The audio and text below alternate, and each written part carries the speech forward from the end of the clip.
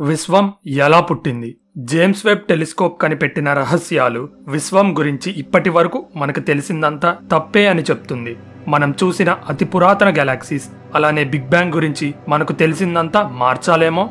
రెండు వేల ఇరవై రెండులో జేమ్స్ వెబ్ తీసిన ఒక లోతైన అంతరిక్ష ఫోటో అంటే డీప్ ఫీల్డ్ ఇమేజ్ సైన్స్ ప్రపంచాన్ని షాక్ చేసింది. రెడ్ కలర్లో ఉండే కాంతి మరియు కొన్ని గెలాక్సీస్ విశ్వం గురించి మనకు తెలిసిందంతా తప్పని నిరూపించబోతుందా? ఈ పురాతన గెలాక్సీస్లో ఒకటైన మేజీ గెలాక్సీను కనిపెట్టినప్పుడు అది బిగ్ బ్యాంగ్ జరిగిన వెంటనే పుట్టిందని అందరూ అనుకున్నారు.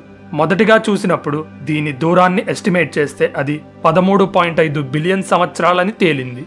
బిగ్ బ్యాంగ్ జరిగి పదమూడు పాయింట్ ఎనిమిది బిలియన్ సంవత్సరాలైంది. అంటే విశ్వం పుట్టిన రెండు వందల తొంభై మిలియన్ సంవత్సరాల తర్వాత మెయిజీ గెలాక్సీ పుట్టిందని చివరికి తేల్చారు. కానీ కథ అక్కడితో ఆగిపోలేదు. డౌట్ వచ్చి ఇంకా అడ్వాన్స్డ్ టెక్నాలజీతో సైంటిస్టులు మళ్ళీ మెయిజీ గెలాక్సీ మీద రీసెర్చ్ చేశారు. అప్పుడే ఒక నమ్మలేని నిజం బయటపడింది. ముందు కనిపెట్టిన దానికంటే మెయిజీ గెలాక్సీ ఇంకా వంద మిలియన్ సంవత్సరాలు పాతదంట. కాబట్టి మనం కనిపెట్టిన అతి పురాతనమైన గెలాక్సీగా మెయిజీ రికార్డు సృష్టించింది. అయితే ఈ రికార్డు ఎక్కువ రోజులు నిలబడేటట్టుగా లేదు. ఎందుకంటే దీనికంటే ఇంకా ముందు పుట్టిన గెలాక్సీస్ మీద సైంటిస్టులు పరిశోధన చేస్తున్నారు. బిగ్ బ్యాంగ్ జరిగిన వెంటనే పుట్టిన గెలాక్సీస్ను కనుక్కుంటే ఏమవుతుందో ఒక్కసారి ఊహించుకోండి. జేమ్స్ వెబ్ వల్ల బిగ్ బ్యాంగ్ జరిగిన తర్వాత మరియు మొదటి స్టార్స్ పుట్టిన టైం తగ్గుతూ వస్తుంది. The mighty eye of NASA అంటే నాసా కన్నుగా పిలిచే జేమ్స్ వెబ్ను లాంచ్ చేసి రెండు సంవత్సరాలు అవుతుంది అంతరిక్షం గురించి మనకు తెలిసిన కొన్ని నిజాల్ని పటాపంచలు చేస్తూ జేమ్స్ వెబ్ చాలా విషయాలనే కనిపెట్టింది.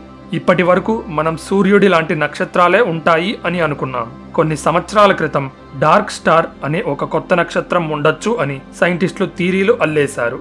అయితే అసలు డార్క్ స్టార్ అంటే ఏంటి? విశ్వం మొత్తాన్ని కంట్రోల్ చేసే ఒక పదార్థం ఉంటుంది. దాన్ని డార్క్ మ్యాటర్ అంటారు. అది కనపడదు వినపడదు అలానే ఈ డార్క్ మ్యాటర్ను మనం తాకలేము. కానీ మన చుట్టూ ఉన్న ప్రతి అణువులో డార్క్ మ్యాటర్ ఉంటుంది. ఇన్ఫ్యాక్ట్ ఆటమ్స్ కంటే ఇంకా సూక్ష్మంగా డార్క్ మ్యాటర్ ఉండే అవకాశం ఉంది. ఇలాంటి డార్క్ మ్యాటర్ ద్వారా శక్తిని పొందే స్టార్స్ని డార్క్ మ్యాటర్ స్టార్స్ అంటారు. మన సూర్యుడి లాంటి మామూలు నక్షత్రాల కంటే ఇవి చాలా కాంతివంతంగా షైన్ అవుతాయి. అయితే డార్క్ మ్యాటర్ని కనిపెట్టలేమో అని చెప్పా కదా?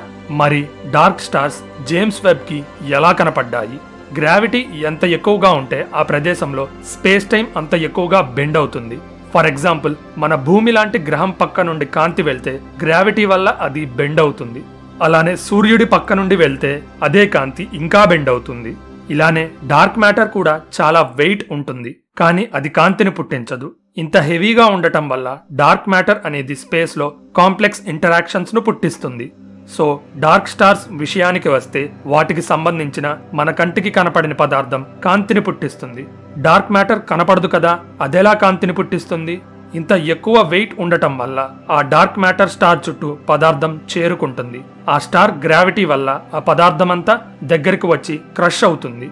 ఎంతవరకు క్రష్ అవుతుందంటే ఆ పదార్థం న్యూక్లియర్ రియాక్షన్ను పుట్టిస్తుంది. ఇక న్యూక్లియర్ రియాక్షన్ అంటే కాంతి వేడి పుడతాయి కదా?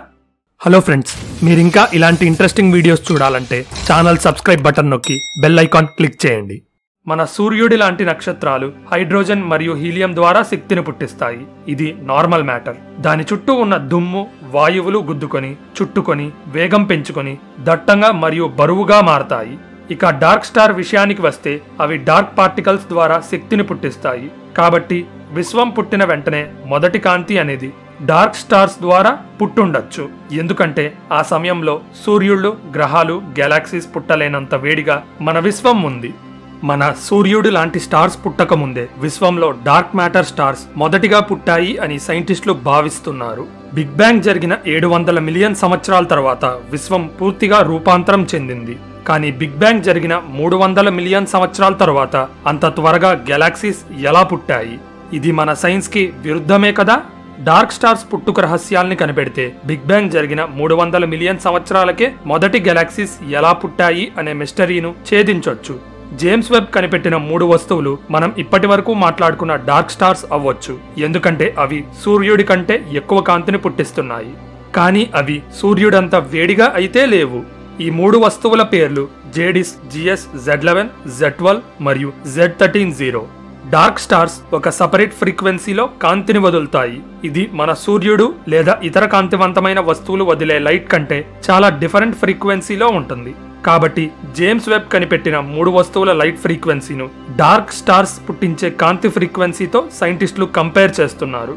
అయితే ఇంత దూరంలో ఉన్న వస్తువుల నుండి వచ్చిన కాంతిని అనలైజ్ చేయటమే కాదు అవేంటో డైరెక్ట్గా చెప్పడం కూడా కష్టమే.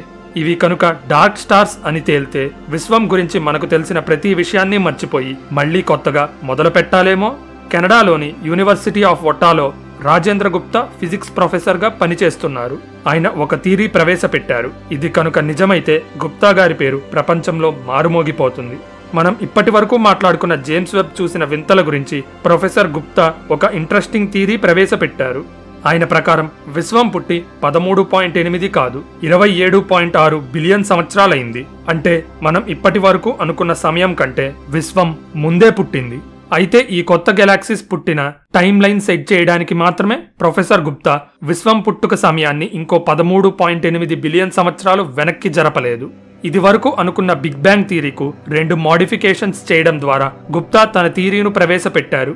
బిగ్ బ్యాంగ్ జరిగినప్పటి నుండి ఇప్పటి వరకు ఎంత సమయం అయితే గడిచిందో అదే విశ్వం వయస్సుగా మనం ఇప్పటి వరకు అనుకుంటున్నాము. అలానే విశ్వం ఏర్పడిన వెంటనే పుట్టిన వస్తువుల ప్రాపర్టీస్ ద్వారా కూడా విశ్వ వయస్సును అంచనా వేయొచ్చు. హబుల్ టెలిస్కోప్ లాంచ్ చేసేంత వరకు ఈ మెజరింగ్ పారామీటర్సే కరెక్ట్ అని అందరూ అనుకున్నారు. హబుల్ కూడా ఈ పదమూడు పాయింట్ ఎనిమిది బిలియన్ ఏజ్ థీరీను బ్రేక్ చేసేటట్టుగా ఎలాంటి వింత గెలాక్సీస్ కానీ స్టార్స్ కానీ కనిపెట్టలేదు. మనకి చాలా దూరంలో ఉన్న వస్తువుల వయస్సును కనుక్కోవడానికి రెడ్ షిఫ్ట్ పద్ధతిని సైంటిస్టులు వాడతారు. కాంతి అనేది అది పుట్టిన చోట నుండి దూరంగా వెళ్ళే కొద్దీ దాంట్లో ఉన్న శక్తి తగ్గుతుంది. శక్తి తగ్గితే కాంతి ఫ్రీక్వెన్సీ మారుతుంది. ఫర్ ఎగ్జాంపుల్ మన సూర్యుడి నుండి వచ్చే కాంతిలోని ఫోటాన్స్ ఈ లైట్ స్పెక్ట్రమ్ ఫ్రీక్వెన్సీ స్కేల్లో ఎల్లో దగ్గర ఉంటుంది. మనకి అతి దగ్గరగా ఉండే ప్రాక్సిమా సెంటారీ నుండి పుట్టిన కాంతి కూడా ఎల్లో రంగులోనే ఉంటుంది. కానీ నాలుగు పాయింట్ రెండు కాంతి సంవత్సరాలు ట్రావెల్ చేసిన తర్వాత ఈ ఎల్లో కాంతి కాస్త శక్తిని కోల్పోతుంది. అది ఎల్లో నుండి రెడ్ కలర్లోకి మారి మన లైట్ స్పెక్ట్రమ్ ఫ్రీక్వెన్సీ స్కేల్లో ఇంకా ముందుకి కనబడుతుంది. ఇలా కాంతి ఫ్రీక్వెన్సీ ఎంత మారిందో దాన్ని బట్టి ఒక వస్తువు మనకి ఎంత దూరంలో ఉంది ప్లస్ దాని వయసును సైంటిస్టులు అంచనా వేస్తారు. ఈ రెడ్ షిఫ్ట్ పద్ధతిని అలానే ఇతర ఎక్స్పెరిమెంట్స్ ఉపయోగించి మన విశ్వ వయస్సును పదమూడు పాయింట్ ఎనిమిది బిలియన్ సంవత్సరాలని లెక్క కట్టడం జరిగింది. అయితే జేమ్స్ వెబ్ వచ్చిన తర్వాత సీన్ రివర్స్ అయింది. తాను కనిపెట్టిన వస్తువులతో జేమ్స్ వెబ్ పదమూడు పాయింట్ ఎనిమిది బిలియన్ సంవత్సరాల గురించి చెప్పే స్టాండర్డ్ మోడల్స్ అన్ని షేక్ చేసేసింది. పంతొమ్మిది వందల ఇరవైలో ఫ్రిడ్జ్ జువికి అనే ఆస్ట్రోఫిజిసిస్ట్ కనిపెట్టిన ఒక విషయం ద్వారా రెడ్ షిఫ్ట్ క్యాలిక్యులేషన్ పద్ధతిలో తప్పులు ఉన్నాయి అని ప్రొఫెసర్ గుప్తా కనిపెట్టారు. గుప్తా టయర్డ్ లైట్ అనే ఒక థీరీ ముందుకు తీసుకొని వచ్చారు. గెలాక్సీస్ మన నుండి దూరంగా జరగడం వల్ల వాటి నుండి వచ్చే కాంతి ఫ్రీక్వెన్సీ రెడ్లోకి మారుతుంది అనే విషయం ఆయన కొట్టిపారేశారు. మనం ఇందాక మాట్లాడుకున్నట్లుగా కాంతి అనేది స్పేస్ గుండా ప్రయాణించడం వల్ల దాని ఎనర్జీ తగ్గి కలర్ మార్చుకుంటుంది అని professor Gupta tired light theory చెప్తుంది. షార్ట్గా చెప్పాలంటే యూనివర్స్ సాగుతుంది అని అనుకోవడం తప్పు. ఆ సాగటాన్ని దృష్టిలో పెట్టుకుని క్యాలిక్యులేట్ చేసిన ప్రతి వాల్యూ కూడా తప్పే. ఇరవయవ శతాబ్దంలో పాల్ డిరాక్ అనే ఒక సైంటిస్ట్ కూడా ఇలాంటి ఒక థీరీ గురించి చెప్పాడు. పదార్థంలోని కణాలు ఎలా కదులుతాయి ఎలా కలుస్తాయి అనే విషయం కప్లింగ్ కాన్స్టెంట్స్ మీద ఆధారపడి ఉంటుంది. కాన్స్టెంట్స్ అన్నాం కాబట్టి వీటి వాల్యూస్ ఎప్పటికీ మారవు అంటే కాంతి స్పీడ్ లాగా. కానీ ఈ కప్లింగ్ కాన్స్టెంట్ వాల్యూస్ విశ్వం పుట్టినప్పటి నుండి ఇప్పటి వరకు మారి ఉండొచ్చు. అంటే విశ్వం మొదట్లో పుట్టిన కణాలు ఇప్పుడు పుట్టిన కణాల కంటే చాలా వేరుగా ప్రవర్తిస్తాయి. జేమ్స్ వెబ్ కనిపెట్టిన అతి పురాతన గెలాక్సీస్ విశ్వం పుట్టిన వెంటనే ఉండాల్సిన దానికంటే అడ్వాన్స్డ్ స్టేజీలో ఉండటానికి కారణం ఆ గెలాక్సీలో ఉన్న కణాలు ముందే ఎవాల్వ్ అవ్వటం వల్లేమో మనం అంధకారంలో పెరుగుతున్నామేమో లేకపోతే అంధకారంలో ఉండే డార్క్ మ్యాటరే కాంతిని పుట్టిస్తుందా? ఆస్ట్రోఫిజిక్స్ విశ్వం గురించి మన అవగాహనను పూర్తిగా మార్చే స్టేజ్కి మనం దగ్గరవుతున్నామా? ఇలాంటి ఇంట్రెస్టింగ్ స్పేస్ ఫ్యాక్ట్స్ గురించి తెలుసుకోవాలంటే మన ఛానల్ సబ్స్క్రైబ్ బటన్ నొక్కి బెల్ ఐకాన్ క్లిక్ చేయండి. ఈ ఇన్ఫర్మేషన్ అందరికీ రీచ్ అవ్వాలంటే వీడియో లైక్ చేయడం మర్చిపోకండి. మీ సపోర్ట్ వల్లే ఈ ఛానల్ ముందుకు కదులుతుంది. So thank you for watching. This is your Phantom signing off. See you in the next one.